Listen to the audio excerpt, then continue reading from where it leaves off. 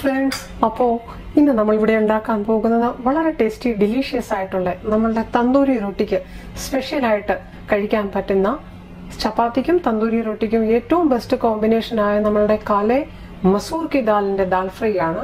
അതായത് ബ്ലാക്ക് മസൂർ കി ദാൽ. ഇത് തന്നെ നമ്മൾക്ക് പിങ്ക് കളറുള്ള റെഡ് കളർ ഉള്ളതുണ്ട്. ഇത് തന്നെ നമ്മൾക്ക് ഈ ബ്ലാക്ക് കളർ ഉള്ളതുണ്ട്. അപ്പൊ ഈ ബ്ലാക്ക് കളർ എന്ന് പറഞ്ഞു കഴിഞ്ഞാൽ ഇത് സ്കിന്നോട് കൂടിയതാണ്. So today we are going to make a very delicious, taste delicious restaurant style. Kali masoor dal ki dal fry ഈ മസൂർ കി ദാൽ കൊണ്ടുള്ള ദാൽ ഫ്രൈ നിങ്ങൾ ഉണ്ടാക്കിയിട്ടില്ല എന്നുണ്ടെങ്കിൽ മറക്കാതെ ഉണ്ടാക്കി നോക്കുക.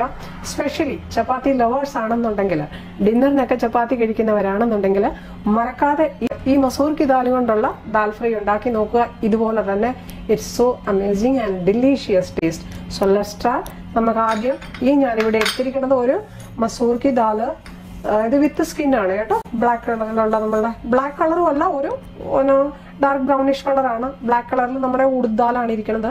അപ്പം നോർമലി പറയുന്നത് കാലി മസൂർ കി ദാൽ എന്നാണ്. ഞാൻ ഒരു മുക്കാ ബോളോടെ എടുത്തിട്ടുണ്ട്. ഈ ഫുൾ നിങ്ങൾക്ക് ആവശ്യമുള്ളത്ര എടുക്കാം.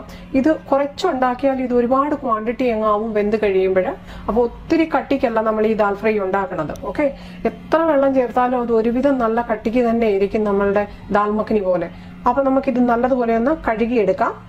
അത് കഴിഞ്ഞ് നമുക്കിവിടെ വേണ്ടത് ഒരു ടൊമാറ്റോ ഇതിനകത്ത് ഒരുപാട് ടൊമാറ്റോ ആഡ് ചെയ്യില്ല. പിന്നെ സവാള ആഡ് ചെയ്യത്തില്ല. ഈ ദാൽ ഫ്രൈയുടെ സ്പെഷ്യാലിറ്റി മറ്റ് ദാൽ ഫ്രൈയിൽ നിന്ന്. അപ്പൊ നമുക്ക് സവാള വേണ്ട ഇവിടെ. ഒരു three to four green chilli slit ചെയ്തത്. നമ്മൾ ഈ ദാൽ ഫ്രൈയിൽ ഒരുപാട് റെഡ് ചില്ലി ആഡ് ചെയ്യുന്ന ഒരു ദാൽ ഫ്രൈ അല്ല ഉള്ളി ഗ്രീൻ ചില്ലി ആഡ് ചെയ്യും.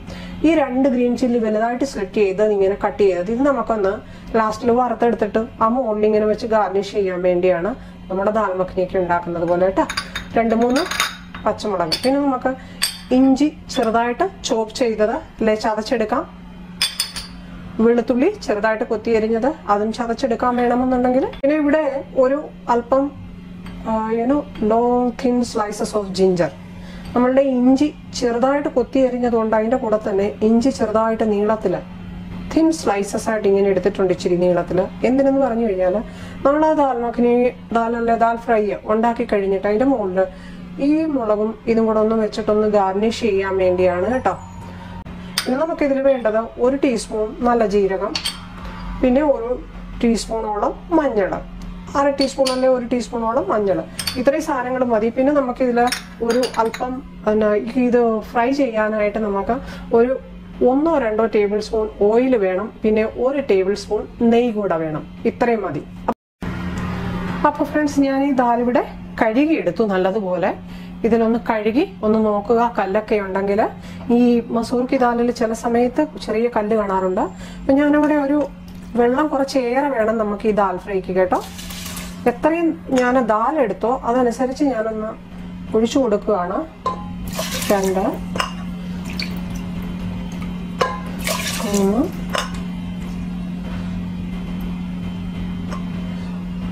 നാല്. ഈ ദാലിൽ ഇച്ചിരി വെള്ളം കൂടുതൽ വെക്കേണ്ട കാര്യം ഇത് വേകാൻ വേണ്ടി മാത്രമല്ല. ഇത് പെട്ടെന്ന് അങ്ങ് വിസിലടിക്കുന്ന ഉടനെ രണ്ട് മൂന്ന് വിസിൽസ് കഴിയുന്ന ഉടനെ വെള്ളം പെട്ടെന്ന് പറ്റി പോകുന്ന ഒരു ദാലാണ് ഈ ദാൽ. അപ്പൊ എന്ത് പറ്റുന്നതെന്ന് പറഞ്ഞു കഴിഞ്ഞാൽ വെള്ളം പെട്ടെന്ന് പറ്റിയിട്ട് നമ്മളുടെ കുക്കറിന്റെ ഈ ചെറിയ ഹോളില്ലേ അതിൽ കയറിയിട്ട് ഇതിന്റെ സ്കിന്ന് കയറി അടയും. അപ്പൊ അത് ഡേഞ്ചർ ആണ്. അങ്ങനെ വരരുത്. അപ്പൊ എന്താ ചെയ്യേണ്ട? ഇച്ചിരി വെള്ളം ഏറെ വെക്കുക. വെള്ളം പറ്റുന്ന സമയത്ത് പറഞ്ഞു കഴിഞ്ഞാൽ വിസിലടിക്കുന്ന സമയത്ത് ചില സമയത്ത് ഇതിന്റെ സ്കിൻ ഇതിൽ കയറി അടയാൻ സാധ്യതയുണ്ട്. അപ്പൊ അത് അവോയ്ഡ് ചെയ്യാനായിട്ട് ഒന്ന് ഇച്ചിരി വെള്ളം കൂടുതൽ വെക്കണം. ഇത് ഡ്രൈ ആയി പോകും പെട്ടെന്ന് ഇത് ഉണ്ടാക്കി കഴിയുമ്പോൾ ഞാൻ ഇതിൽ കുറച്ച് നമുക്ക് ഉപ്പ് കൂടി ഒന്ന് ചേർക്കാം. ഉപ്പ് ചേർത്തിട്ട് വേവിക്കുന്നതിന്റെ കാര്യം ഇത് തിളച്ചു തൂവാതിരിക്കത്തില്ല. അപ്പൊ നേരത്തെ ഞാൻ പറഞ്ഞിട്ടുണ്ട് ഒരല്പം ഉപ്പ് ആഡ് ചെയ്ത് നോക്കുവാണെങ്കിൽ പെട്ടെന്ന് വെന്ത് കിട്ടും. ഒന്ന് ഒരു ഫോർ ടു ഫൈവ് വിസിൽസ് അടുപ്പിച്ച് നോക്കുക.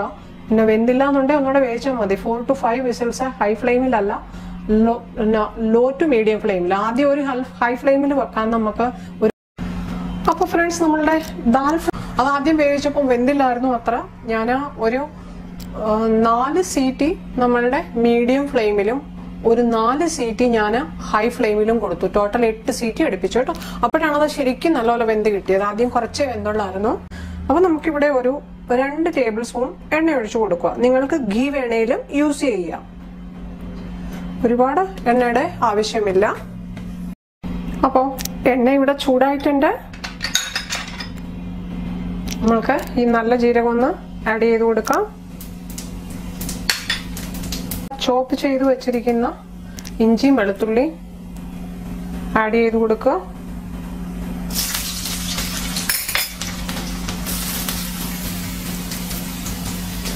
കുറച്ച് ഏറെ ഇഞ്ചിയും വെളുത്തുള്ളിയാണ് നമ്മൾ ഈ ദാലിന് ആഡ് ചെയ്യേണ്ടത് നോർമലി കേട്ടോ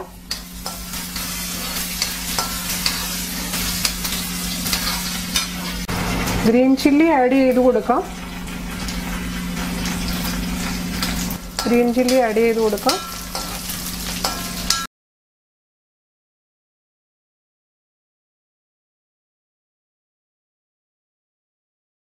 ഇതിനകത്തോട്ട് നമുക്ക് ഈ ടൊമാറ്റോ ആഡ് ചെയ്ത് കൊടുക്കാം. Saute for two minute not more than that because after adding the dal we will cook it for another 5 to 6 minutes. Turmeric powder add ചെയ്ത് കൊടുക്കുക. നമ്മളുടെ മഞ്ഞൾപ്പൊടി ആഡ് ചെയ്ത് കൊടുത്തു. ഒരു കാൽ ടീസ്പൂൺ മുളക് പൊടി. മുളക് പൊടി ആഡ് ചെയ്യുക ഓപ്ഷണലാണ് കേട്ടോ. ഒരു കാൽ ടീസ്പൂൺ ഇതിനകത്ത് മുളക് പൊടി സാധാരണ അങ്ങനെ ആഡ് ചെയ്യാറില്ല. ചിലർ ആഡ് ചെയ്യും.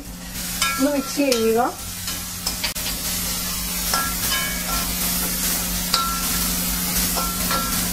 Now we can add the dal. Dal ഇവിടെ നല്ലതുപോലെ കുക്കായിട്ടുണ്ട്. അത് കുക്കറിലിട്ട് വെച്ച് കഴിഞ്ഞാൽ നല്ലപോലെ ഒന്ന് ഇളക്കി കൊടുക്കുക. നല്ലതുപോലെ ഒന്ന് ഇളക്കി കൊടുക്കുക കുക്കറിൽ എന്നിട്ട് ആഡ് ചെയ്യുക.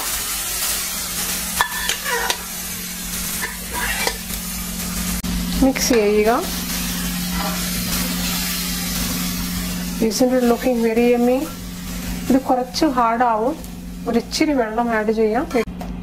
സോ തിക്നെസ് നല്ലതല്ല ഈ ദാലിന്. കുറച്ച് വെള്ളമായിട്ടിരിക്കണം അതാണ് നല്ലേ. യു ക്യാൻ ആഡ് സോൾട്ട് ഇച്ചിരി ഉപ്പ് ആഡ് ചെയ്യുക. ഉപ്പ് ഇനി നോക്കിയിട്ട് ആഡ് ചെയ്യാവൂ. കുറച്ചുകൂടെ വെള്ളം ഒന്ന് ആഡ് ചെയ്യാം.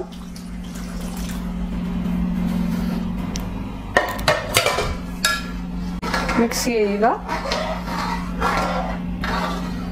This is the consistency perfect consistency for this dal.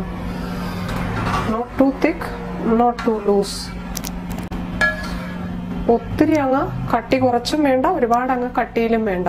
ഈ ദാലിന് ഭയങ്കര ടേസ്റ്റ് ആണ്. ഇതിന്റെ കളർ കാണാൻ നല്ല രസമാണ്. No cook it for let it cook for six to seven minute close it for another five to six minute in low flame friends ഞാനിവിടെ ഒരു ചെറിയ പാൻ വെച്ചിട്ടുണ്ട്. നമുക്ക് ദാൽ ഫ്രൈക്ക് ആ മുകളിലൊന്ന് തടുക്ക ചെയ്യാനായിട്ട് ഒരു ടേബിൾ സ്പൂൺ നെയ്യ് ഒഴിച്ചു കൊടുക്കുക. നെയ്യ് അത് കരിയാനിടയാകരുത് പച്ചമുളക് ഇട്ട് കൊടുക്കുക. ആ ഇഞ്ചി നീളത്തിൽ കട്ട് ചെയ്ത് വെച്ചിരുന്നതൊന്ന് ഇട്ട് കൊടുക്കുക. അപ്പം സ്റ്റീലിന്റെ ചീനിച്ചട്ടി ആയതുകൊണ്ട് കുറച്ച് ഒന്ന് ഓയിൽ വരുന്നത് പോലെ തോന്നുന്നത് പോകാം കേട്ടോ. അപ്പോൾ ഇതൊന്ന് ജസ്റ്റ് ഒരു മിനിറ്റ് ഒന്ന് ഫ്രൈ ചെയ്താൽ മതി നമുക്ക്. നമുക്ക് ഈ പച്ചമുളകും ഇഞ്ചി എല്ലാം ഒരു കട്ടോരിയിലോട്ടൊന്ന് എടുത്തു മാറ്റാം. ജസ്റ്റ് ഗാർണിഷ് ചെയ്യാനായിട്ട്. ഈ നെയ്യും കൂടെ ഒരല്പം എടുത്ത് ഒന്ന് മാറ്റാം. നെയ്യോടെ നമുക്കങ്ങ് ഗാർണിഷ് ചെയ്യാം. അപ്പോൾ our tasty delicious dal fry is ready you can also try it out it's a very tasty delicious dal fry. Kali masoor dal ke dal fry. Just garnish it with that green chili which we fried and this pure desi ghee and this ginger slices. Just sprinkle little bit fresh coriander leaves, garnish it. That's it. Wow, isn't it looking very yummy? So hope everyone likes today's easy and simple, tasty, delicious restaurant style കാലെ മസൂർക്ക് dal fry വളരെ tasty delicious ആണ്. എല്ലാവരും മറക്കാതെ ഉണ്ടാക്കി നോക്കുക. നിങ്ങളുടെ വിലയേറിയ അഭിപ്രായങ്ങൾ അറിയിക്കുക. Thank you so much for watching keep watching keep sharing keep subscribing ഇവരെ സബ്സ്ക്രൈബ് ചെയ്തിട്ടില്ലാന്നുണ്ടെങ്കിൽ പ്ലീസ് മറക്കാതെ സബ്സ്ക്രൈബ് ചെയ്യുക. നിങ്ങളുടെ വിലയേറിയ കമന്റ്സുകൾ യൂട്യൂബിൽ തരാവുന്നതാണ്. അതുപോലെ തന്നെ ബെല്ലൈക്കൺ കൂടി പ്രസ് ചെയ്യുക. Thank you eat healthy stay healthy